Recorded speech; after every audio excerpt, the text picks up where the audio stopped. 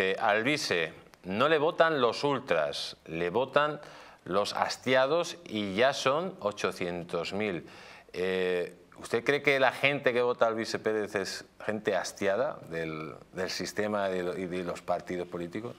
Hombre, yo creo que hay mucho descontento, ya no tanto aparte de la aprobación joven, ¿no? de todos los problemas eh, de la precariedad en el mundo laboral, de los problemas que tienen ahora mismo en poder acceder a una vivienda digna, por los precios que están alcanzando la vivienda. Alvise ha sabido un poco aglutinar ese descontento ahora mismo de parte de la sociedad española que está cansada de determinada clase, política que vemos que no arregla los problemas. O sea, lo estamos viendo lógicamente con el gobierno socialista.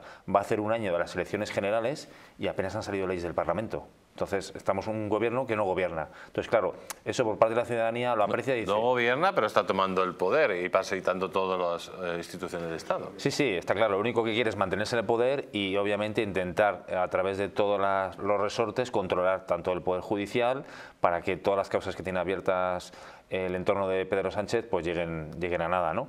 Y, entonces, claro, eh, me comentaba eh, el tema de Alvise, pues lógicamente hay un descontento. Sí que es verdad que Alvise hay cosas que dice que yo puedo estar de acuerdo, obviamente, me, me, chocan, ¿no? Porque al final él tiene una política de comunicación muy, muy buena en ese sentido. Ha sabido llegar a la gente a través de las redes sociales, que hoy en día las redes sociales, sobre todo para la gente joven, que se informa a través de las redes sociales, no tanto en medios de comunicación, en prensa, radio y televisión, pues ha sabido eh, calar, digamos, en esa, en esa población y ven que va en contra un poco del sistema, digamos, establecido de la partitocracia, ¿no? de los partidos políticos tradicionales, que, que, lo único que buscan es, a lo mejor, según, según su versión, es estar en el poder, alcanzar el poder y luego no arreglar el problema de los ciudadanos. Él, lógicamente, con un discurso muy populista en el sentido de que de cosas que realmente puedan importar a, la gente de hoy en día intenta llegar a y yo creo que las próximas elecciones ha conseguido en estas últimas consiguió 800.000 votos en las elecciones europeas sin apenas eh, tener entrevistas en medios de comunicación solo a través de las redes sociales tanto Telegram como, Instagram